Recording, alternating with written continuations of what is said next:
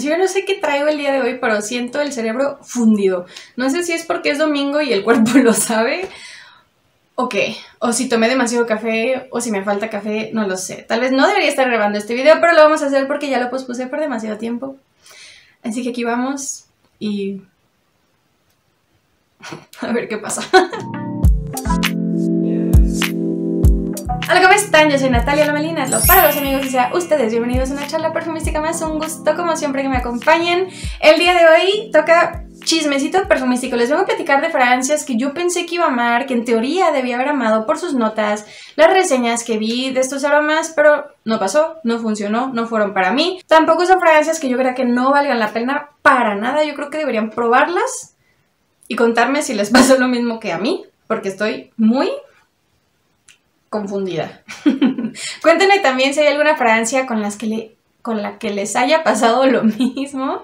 Em, que en teoría debieron haberlas amado, pero no pasó. Recuerden que todas las narices son diferentes, cada nariz es un mundo. El olfato es muy complejo y no existen aromas que vayan a gustar universalmente, ¿ok? Esto, les digo, es chismecito nada más. Y otro motivo por el cual les quise traer este video fue porque yo a veces me quedo pensando si a tal le gustará tal aroma, pero no te enteras, porque solo venimos a platicarles de perfumes que nos gustan mucho, en su mayoría, o perfumes que estamos queriendo invitar a la gente que pruebe, ¿no? Así que bueno, chismecito perfumístico de mi experiencia con estos aromas. Algunos aromas no se los he traído al canal, y pues sí, les digo, cuéntenme, cuéntenme por favor que me interesa. También les invito a suscribirse al canal si aún no lo han hecho con el botoncito rojo de aquí abajo. Y así van a enterarse de cuando suba nuevos videos. Por favor, también no olviden dejarme sus sugerencias en los comentarios. Y ahora sí, vamos a empezar. Vamos a empezar con un perfume que yo creo que... Bueno, ahorita ya no, ya no se habla tanto de él, pero todo mundo conoce esta fragancia, particularmente las amantes de la vainilla. Y yo de verdad tenía muchas ganas de probarlo, lo probé, me gustó, pero estaba en perfumería y uno no puede confiar en su olfato cuando está en una perfumería precisamente por este motivo. Es Manifesto de YSL. Ese perfume yo creo que es una vainilla clásica, es una vainilla que tienes que probar porque tienes que probar. Les invito a probarla, pero les cuento, les cuento. En teoría, me dio haber encantado. Tiene grosellas negras, me gusta esa nota. Bergamota, casi todos mis perfumes tienen esa nota en la salida. Notas verdes que tiene, ah, ah, tienen, tienen algunos de mis perfumes. Jazmín, lirio de los valles, vainilla, batonga, sándalo, cedro y en teoría, en teoría me debe haber gustado.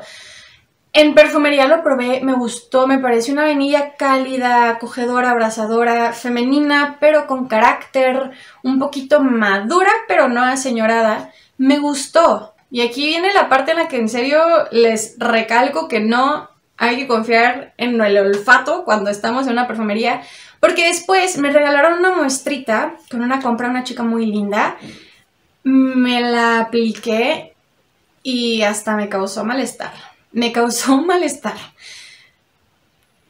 Siento por algún motivo algo muy aldehídico en esa fragancia, no sé por qué, no sé qué nota podrá ser. Díganme si a ustedes les pasa lo mismo. Los aldehídos son esa nota característica que tiene Chanel número 5. Allure también de Chanel es un aroma que tiene carga aldehídica, que es demasiado para mi olfato, por lo menos. Todas estas fragancias, Allure, Chanel número 5, y manifesto me ocasionan esa sensación en el estómago medio... Eso de los aleidos yo creo que es de las cosas más difíciles de explicar, pero no me va bien con esa sensación. Me parecía una vainilla muy aleídica con ese toque verde, me revolvió un poquito el estómago, la, la, el abatón que realmente no se la sentía, sí le sentía por ahí las notas amaderadas y de verdad le di chance, le di oportunidad de que se secara, me la apliqué varias veces, pero en serio no pude hacerlo tantas veces porque me causaba malestar. Tal vez en un futuro le dé oportunidad, pero no, no, no fue para nada para mí. Y pues esa es mi historia. me duraba muchísimo, muy buen desempeño, pero como que no evolucionaba en mi piel. Yo creo que, pues sí, como todo es cuestión de tu piel, de tu olfato. Yo sí le recomiendo probarla, pero tengan muy en cuenta que tiene como esa sensación entre almizclada lírica y una nota verde bastante prominente que a mí no me encantó. Y pues nada, feliz de haberla conocido, pero no, no fue match, no fue match para mí. Vámonos con la siguiente fragancia que es Coffee Break. ¿Dónde puse mi? Creo que lo dejé aquí, sí. Coffee Break de Maison Margiela. Este perfume no fue un fail total, pero algo pasa, algo pasa.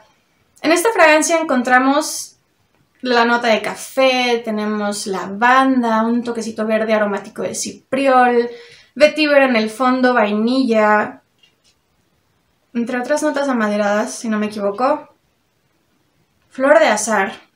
Pero en conjunto, en general, ustedes lo que van a sentir aquí es, en la salida por lo menos, un café de cafetería rico, intenso, con un toquecito de leche, pero esta leche viene infusionada en la lavanda, el cipriol, un poquito de vainilla, una vainilla riquísima, muy natural.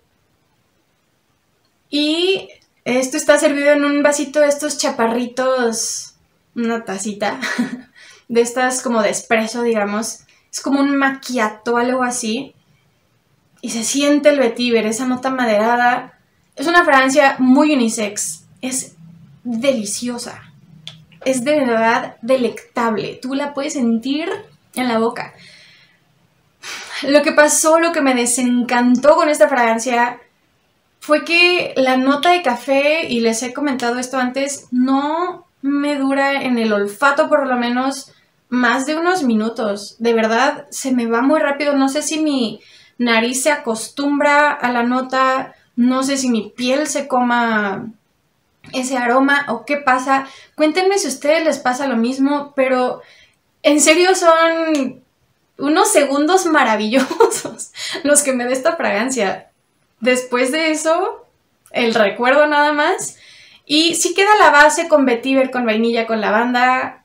Y eso nada más me hace recordar a Libre Intense encuentro un gran parecido ya en el secado de la fragancia y pues yo ya tengo ese aroma, entonces pues no quiero un dupe, no lo necesito. Y sí me, rompió el corazoncito, me, me, desencantó, tal cual es la palabra, porque es un aroma en su salida riquísimo y adictivo y mm, para otoño, qué cosa más deliciosa. Si te gustan los aromas unisex, pero no, a mí me arrebata, me rompe el corazoncito a la hora que me quita el café y pues ya, se acaba la magia, adiós. y pues sí, esa es mi experiencia con Coffee Break. De verdad, díganme, díganme si a ustedes les pasa lo mismo con esa nota de café porque muy triste. Siguiente fragancia. Este aroma también tiene café. Yo no sé por qué tengo tanto problema con las notas de café. Y el aroma es Private Show de Britney Spears. Una fragancia que hizo mucho ruido, no sé, creo que más bien en Facebook en algún momento. Eh, y tiene notas deliciosas, tiene dulce de leche, tiene crema batida, una salida me parece, recuerdo algo como con naranjita o con flor de azar, creo que naranja. Tiene café, jazmín y bueno, yo no siento absolutamente nada más que el jazmín más sintético del universo con un toquecito de naranja tal vez y ya se acabó. Le di muchísimas oportunidades, este, me lo ponía y de verdad era algo muy similar como lo que me pasó con Coffee Break. Sentí el aroma muy lejos, muy raro, muy ligero y por segundos y después de eso, jazmín plasticoso súper Mm, súper como diluido y les digo, muy sintético. Hay mucha gente que he escuchado que ama esa fragancia y que dicen que es un perfume que tienes que probar si te gustan los aromas dulces.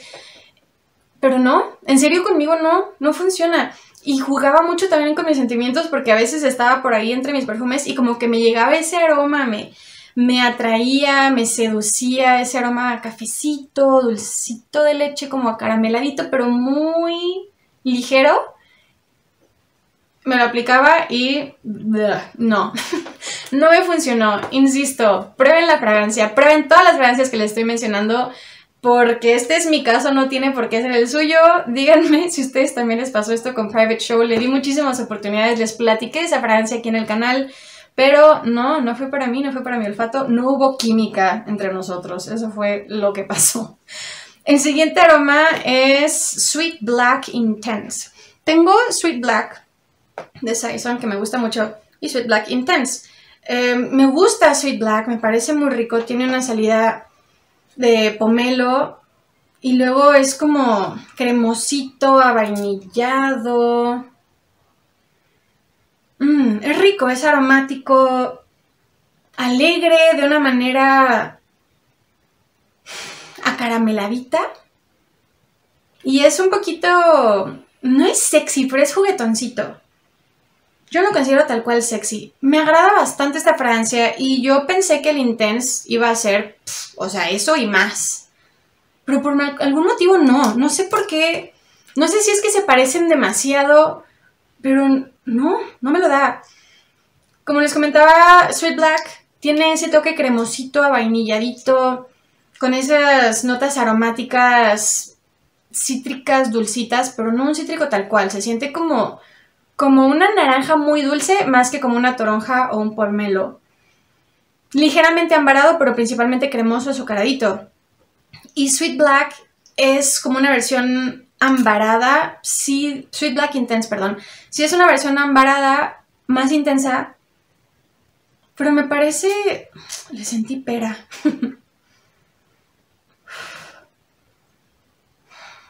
no, no siento que no tiene todos esos matices que tiene Sweet Black. Es simplemente ambarado, dulce y ya. Se supone que tiene almendra tostada y vainilla, pero yo no le siento nada almendrado. Podría decir que tiene vainilla, pero tampoco le siento un toque demasiado vainillado. Le encuentro mucha más definición, más... Em, atractivo a las notas de Sweet Black que a las de Sweet Black Intense. No le encuentro mucho chiste, eso es lo que sucede. No lo sé. Ustedes díganme, ¿prefieren el Intense o prefieren el Sweet Black normal como yo? todavía no probé el Sweet Chic. Eso estoy segura de que sí me va a gustar. Pero sí, no, Sweet Black, me gusta. El otro, mejor no. lo bueno es que son perfumes económicos, entonces, pues, eh. pero pruébenlos, pruébenlos. No se olviden de probar estas fragancias. Vámonos con mm, un perfume que quería que me gustara. En serio, quería mucho que me gustara porque estoy muerta de calor y parecía una opción maravillosa y perfecta. Es Quatre de Boucheron. O de parfum, parfum. O de parfum, parfum. Bueno, bueno, les cuento que en Quatre tenemos toronja, tenemos naranja, una creo que es una, dos tipos de naranja, no me acuerdo, naranja mandarina, naranja tangerina, naranja tangerina y naranja también tiene por ahí otra nota dulce. Cítrica, tiene manzana, fresa, rosa, jazmín, durazno, almizcle, caramelo, vainilla, cachemira, es que de aquí la única nota que sé que no me encanta es la manzana, pero tomando en cuenta que hay toronja, que hay naranja, que hay fresa, que hay caramelo, dije, no me importa. Además, aquí lo que pasó fue que me regalaron también un vial en una compra y yo no sé, no sé por qué, pero atomizo esta fragancia. a ver. Atomizo esta fragancia.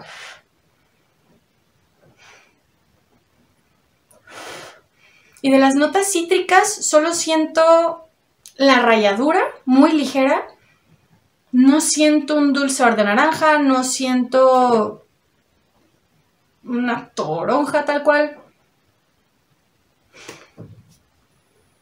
Siento como un jazmín con manzanita, pero que luego se, se diluye a un nivel casi de agua, es como un agua de jazmín absolutamente nada, pero nada de caramelo, nada de fresa, nada de vainilla, nada de cachemira, nada de nada, más que un té de jazmín tal cual, pero ni siquiera con esa intensidad del té de jazmín, es simplemente un jazmín en agua. No sé qué pasa, estoy muy triste. Muy triste y lo he probado también muchas veces en diferentes climas, en diferentes situaciones Nada, no entiendo. No entiendo, tal vez es un poquito de rosa, pero no, no siento nada, no siento nada por ti. Estoy muy triste. Esas notas son preciosas. Y ustedes, de hecho, me la han recomendado, me han recomendado esta Francia. Por lo mismo tenía también muchas ganas de probarla. Pero no, no siento nada. no sé cómo mi nariz es tan ciega a este aroma. Yo sé que es una fragancia muy querida. Eh, sí escuché, no me acuerdo en alguna reseña que predomina la rosa, pero yo ni siquiera puedo distinguir tal cual la flor. No sé qué pasa aquí. Pero Cathay tampoco fue para mí. Y... Y pues no sé qué más decirles. Eso fue lo que pasó. Un fail rotundo. Una gran lástima. No, incluso le siento algo verde. Yo no sé qué, qué pasó ahí. I don't know. y, ok, tenemos una fragancia más. Se me olvidó traerla. Aquí está.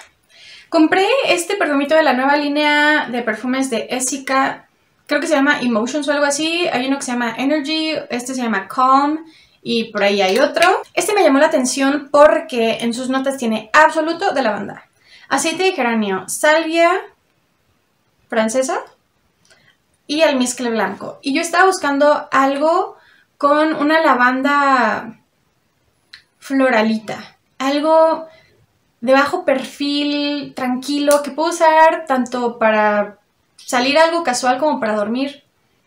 Y pues además vi el frasquito muy mono, me gustan estos tonos y tiene como la imagen de lo que esperaba de este aroma, además se llama Calm. Esperaba algo femenino, pero muy tranquilo, muy low profile. Y pues, ¿cómo les explico? La salida no es mala. Sí se siente esa nota de lavanda, para nada muy fuerte. Se siente una nota floralita. Por ahí se va mezclando el geranio. La salvia no es esa nota tan aromática, tan fuerte. La salida me agrada. Huele como a limpio, aromático. Ok. Pero ya después bueno, para empezar tampoco, en la salida tampoco es una fragancia que diga, wow, qué rico, no. Es lindo, huele bien, pero hasta ahí. Y lo que pasa es que algunas veces, y digo algunas veces porque en serio es algunas veces, en mí seca como a un jaboncito de tocador de lavanda y ni siquiera como el más rico del mundo, no. Tal cual, una lavanda ajabonada y no me gustan los aromas jabonosos. Y ya, eso es lo que pasa. Eso fue lo que me pasó con esta fragancia. insisto, en un principio si me gusta, está ok. Nada que yo portaría con orgullo. Pero el secado, pues sí es algo que de verdad no portaría a ningún lado. Este sí no se lo recomiendo tanto, la verdad. Porque me parece un aroma muy X. O sea, puedes vivir sin esto. Creo que hay body mists más ricos. Pero no me hagan caso, mejor díganme. díganme si ustedes este, han probado este aroma que les parece. Yo no he encontrado muchas reseñas sobre él, encontré por ahí un par y me fui con la que dijo que estaba rico. Ya se me alargó muchísimo este video. Yo juraba que iba a ser un video muy cortito, pero no, no lo logro, no puedo hacer eso. Muchas gracias por quedarse hasta el final de este video conmigo. En serio, les mando un gran abrazo y todo mi amor. Espero haber hecho sentido. Espero haber sido coherente en este video porque de verdad siento el cerebro fundido, iba a decir el perfume fundido, ¿cómo les explico? Me voy a, no sé, a tratar de hacer algo que me acomode la cabeza. Si se quedaron hasta el final de este video, déjenme en los comentarios una mariposita, un bichito lindo, porque ¿por qué no? Si nada más por el momento me despido, recuerden que les leo en los comentarios y nos vemos en el próximo video. ¡Chao!